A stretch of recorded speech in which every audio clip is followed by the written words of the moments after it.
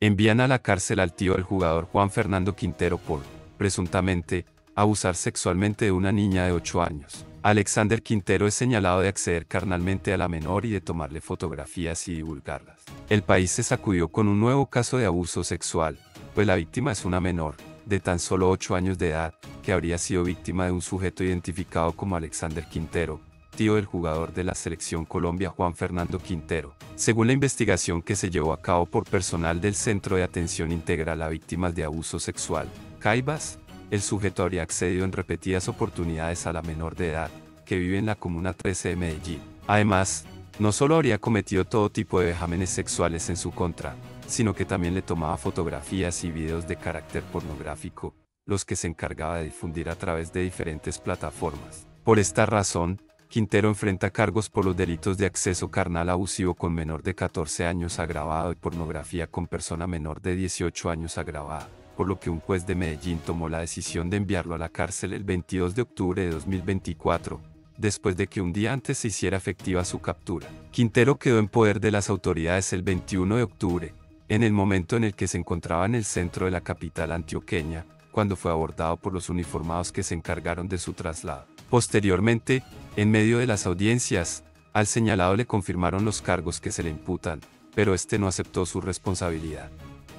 Sin embargo, la investigación continúa mientras Quintero se encuentra tras las rejas. Así ocurrieron los abusos. El sujeto, de 49 años, habría invitado a la niña a una supuesta comida el 25 de diciembre de 2023. Sin embargo, aprovechó este momento para accederla carnalmente, de acuerdo con la denuncia de uno de sus familiares, que fue divulgada por Blue Radio. Autoridades están en alerta ante la violencia en contra de los niños. Bogotá, Medellín, Cali, Villavicencio y Barranquilla han registrado las cifras más altas de violencia intrafamiliar contra menores de edad en los primeros cuatro meses de 2024, según datos del Instituto Nacional de Medicina Legal y Ciencias Forenses. Durante este periodo, se reportaron 177 homicidios de niños, niñas y adolescentes, 11 de ellos correspondieron a la primera infancia, 7 infantes y 159 adolescentes. Del mismo modo, la entidad también informó que entre enero y abril de 2024 se documentaron 11,195 casos de violencia en esta población.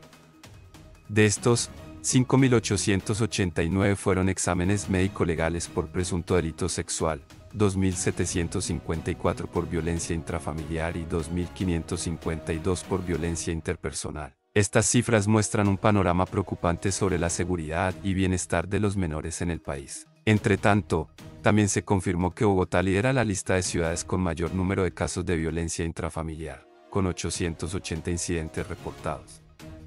Le siguen Medellín con 112 casos, Cali con 64, Villavicencio con 52 y Barranquilla con 44. Otras ciudades como Ibagué, Cúcuta, Yopal, Bucaramanga y Valledupar también figuran en el listado, con cifras que oscilan entre 38 y 25 casos. Ante la gravedad de esta situación, la Procuraduría General de la Nación lanzó advertencias sobre la necesidad de implementar medidas efectivas para proteger a los menores de edad y prevenir futuros incidentes de violencia en todo el territorio nacional. La Procuraduría también expresó preocupación por el número de niños, niñas y adolescentes que han ingresado al sistema de protección del Instituto Colombiano de Bienestar Familiar, reportando entre enero y marzo de 2024, 11.427 registros, puntualizó el Ministerio Público mediante un comunicado oficial en su página web, compartido en julio de 2024.